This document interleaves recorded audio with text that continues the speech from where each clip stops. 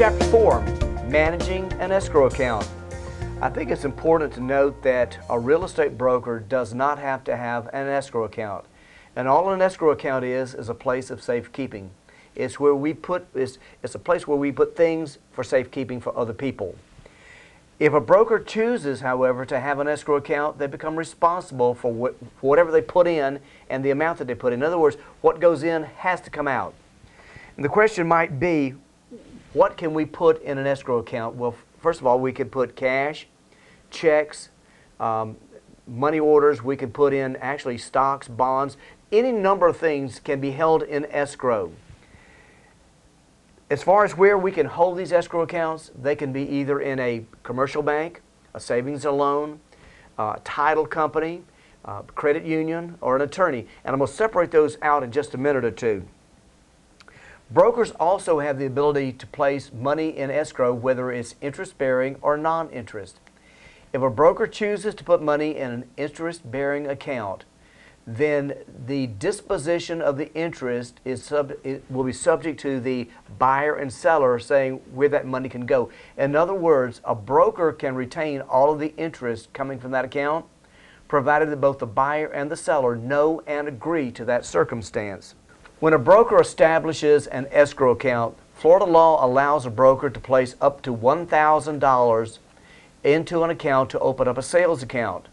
They will also allow the broker to put in up to $5,000 of their own personal money to open up a property management account. And that'll be up to the broker how they want to handle that. When it comes to taking earnest money deposits, now this is a critical part.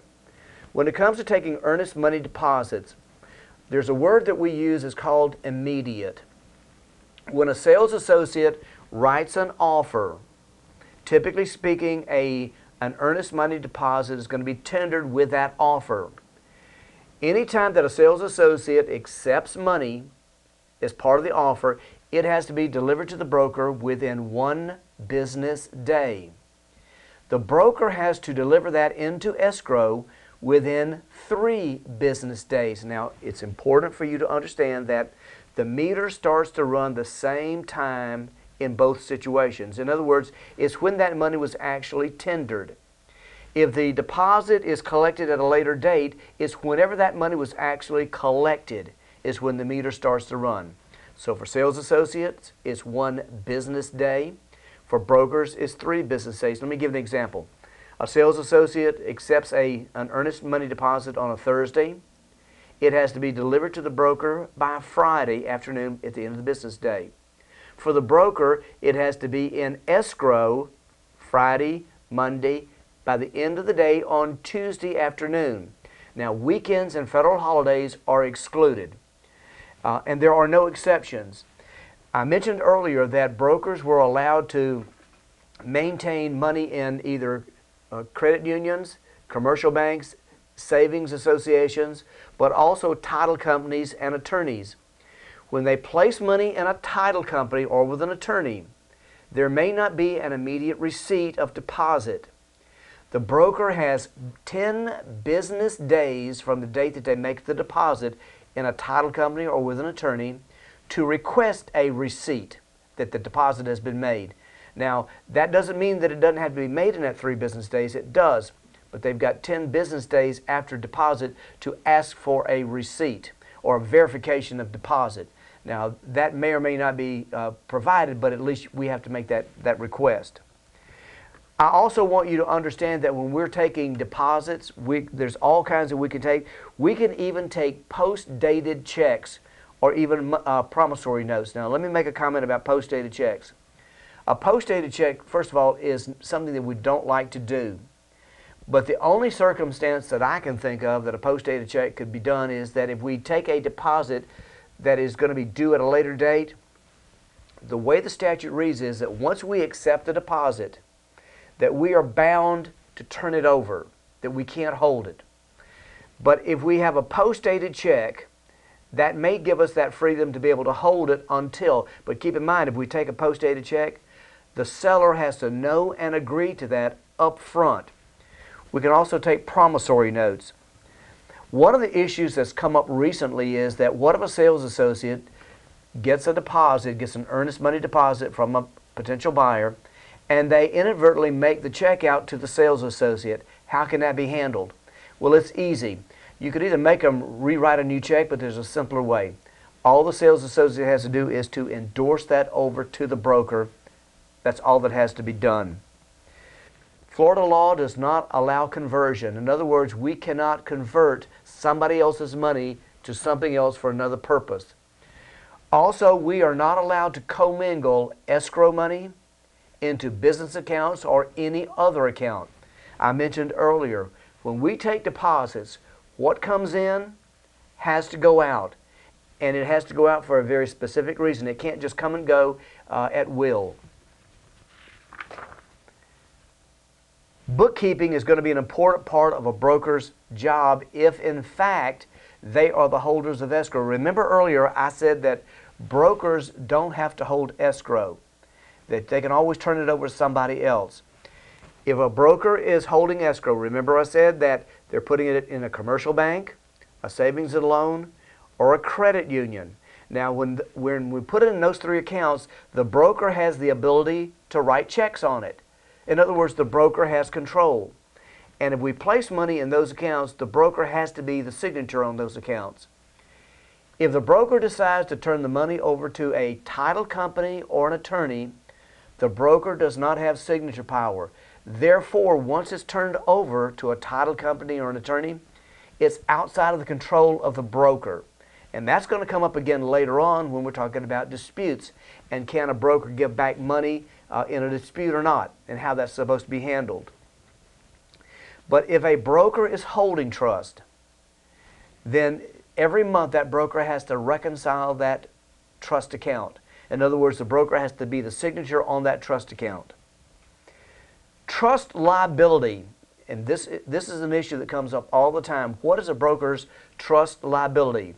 Well, the fact of the matter is, let's simplify it, is simply the amount of the money that is supposed to be in that trust account. And that is to take in consideration any checks that have been written that have not cashed yet, or any deposits that have come through that have not cleared yet. So trust, uh, the trust liability is the actual money that's supposed to be there and may not necessarily be the money that's actually there. The reconciliation process, once a broker reconciles his escrow account, if there's a negative report, uh, that needs to be taken care of because when the auditor comes in, if they find negatives in that report, uh, there's going to be a problem. Escrow disputes. Anytime that a buyer and seller are making demands on escrow or earnest money, that's called conflicting demands. Now, there are a couple of ways that a broker is required to give back deposits no matter what. One is statutorily. And that is to say that if a person has purchased a condominium or a cooperative, there is a certain rescission period, depending whether it's a new condo, a co-op, or one that's a resale. As long as that person makes the demand during that rescission period, the broker is required by statute to give back the deposit. Also, there's been some case law uh, regarding uh, if a buyer makes a uh, makes application for a loan as part of the contract, and the loan is denied, uh, case law, district courts have said that the broker has to give back the deposit. But you need to have a paper trail. It needs to be verified that the loan was rejected. Otherwise, if there's conflicting demands, if the broker is holding escrow, that is, remember, in a commercial bank, credit union, uh, a savings and loan, they've got to notify the Florida Real Estate Commission within 15 business days of the last demand. And that they've got to get the whole problem resolved within 30 days of the last demand or take some type of action. Now, if the deposit or earnest money is being held by a title company or an attorney, the broker is not required uh, uh, to go through these procedures or to make these notifications. If they do make the notification, they've got some choices to make. Most of the contracts require mediation. And all mediation is is when we have a third party who's helping with the negotiations where they can uh, come to a meeting of the minds. There's arbitration. Now, arbitration typically is where a third party makes the decision for the buyer and seller. Oftentimes, the buyer and seller doesn't like, they don't like that uh, arbitration aspect. They can ask, the broker can ask that the real estate commission is, issue an escrow disbursement order. In other words, we're going to ask the real estate commission to, to tell us what to do. Who do we give the deposit to? And by the way, the escrow disbursement order is binding, as is arbitration. Buyers and sellers can also litigate. In other words, they can take it to court. Um, there's another uh, aspect of disputes or conflicting demands that I think that is important for you to know, and that's good faith doubt. It's important to understand good faith doubt. Good faith doubt is, is a situation that has occurred where you don't have a dispute yet, but chances are there will be a dispute. Let me give you the best example of a good faith doubt. Uh, a buyer and seller has entered into an agreement. The contract is contingent on financing. After the date required for the financing to be obtained, the buyer says, I need an extension. I need to go beyond this to get my extension. The seller says, fine.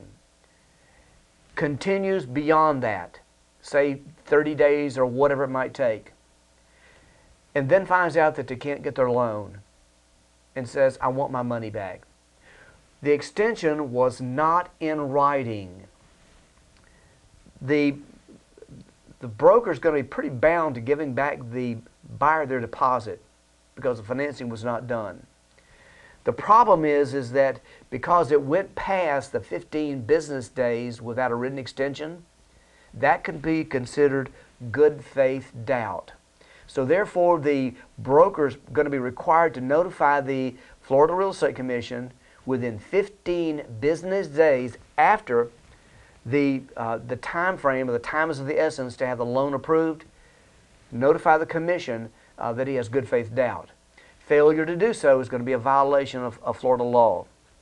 I think there's an important note to make that um, once a broker has notified the real estate commission of a dispute, that uh, if that dispute is resolved somehow, buyer and seller to come to an agreement, there's a 10-day notification period that has to be made to the Florida Real Estate Commission. Let them know that the dispute has been handled. That takes care of Chapter 4's review.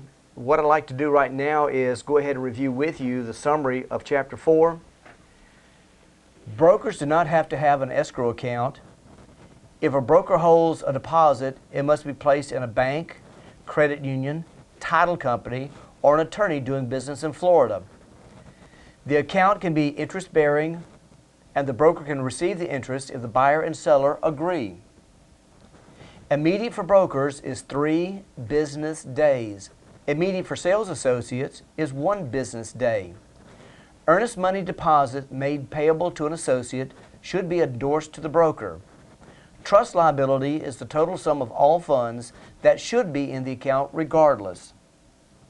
Conflicting demands occur when both buyer and seller request the deposit. Good faith doubt occurs when there's a situation that could become conflicting demands. Conflicting demands and good faith doubt require 15 business day notice at the outset and 30 business days for resolution.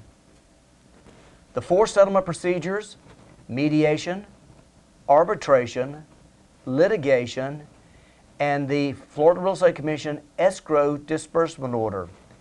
A broker must notify the Florida Real Estate Commission within 10 days if the issue was resolved early. And that's the end of Chapter 4's summary.